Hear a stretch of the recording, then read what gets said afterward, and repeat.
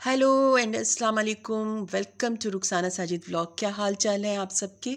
आज की वीडियो में हम आपसे शेयर करने जा रहे हैं कि टर्मेरिक रूट्स को किस तरह से ड्राई किया जाता है और फिर इसको पाउडर फॉर्म में तब्दील कर दिया जाता है। अगर तो आप मेरे चैनल पे न्यू है तो चैनल को लाइक कर दीजिएगा, सब्सक्राइब करना ना भूलिएगा और बेल आइकन को भी प्रेस कर दीजिएगा। कच्ची, हल्दी या टर्मरिक रूट्स हमें सब्ज़ी की दुकान से बहुत आसानी से मिल जाती हैं। तो चलें, वीडियो को शुरू करते हैं। सबसे पहले तो हमें टर्मरिक रूट्स को बहुत अच्छे तरीके से पानी से धो डालना है और फिर किसी भी पतीले में हम पानी को उबाल लेंगे। बिल्कुल ऐसे ही जैसे हम आलू उबालते हैं और जब पानी उबल जाएगा तो फिर हम इसके अंदर अपनी टर्मरिक्स इसके अंदर डाल देंगे।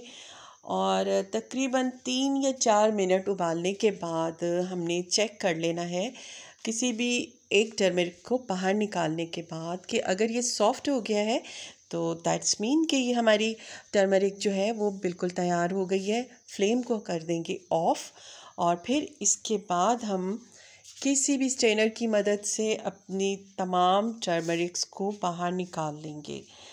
और जिस पानी में हमने इसे उबाला है उसको हम हरगिज़ हरगिज़ भी वेस्ट नहीं करेंगे क्योंकि इस पानी में हल्दी के एंटी फंगस प्रॉपर्टीज़ जो हैं वो शामिल हो गई हैं। तो ये पानी हम ठंडा होने के बाद अपने गमलों में और पौधों में डाल सकते हैं ताकि उनके अंदर किसी भी किस्म के फंगस का हमला ना हो। अच्छा जी तो आ, टर्मरिक जब थोड़ी सी ठंडी हो जाए तो हमने इसको बिल्कुल बारीक बारीक स्लाइसिस में काट लेना है।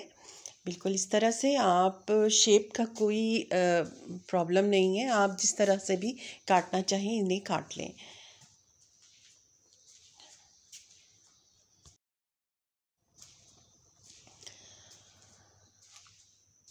काटने के बाद आपने तमाम पीसेस को किसी खुले बर्तन में, खुले मुँह वाले बर्तन में, जिसमें कि हवा का बहुत अच्छे तरीके से गुज़र हो सके, उसके अंदर हमने डाल देना है और इसको हवा के अंदर रख देना है। तकरीबन दो दिन के बाद जो है, हमारी टर्मरिक बिल्कुल ड्राई हो जाएगी।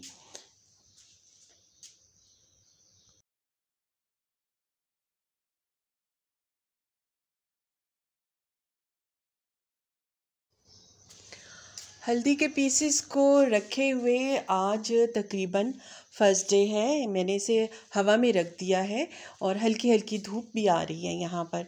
तो आप देख सकते हैं कि अभी इसका, इसके जो पीसेस हैं, वो थोड़े से सॉफ्ट हैं।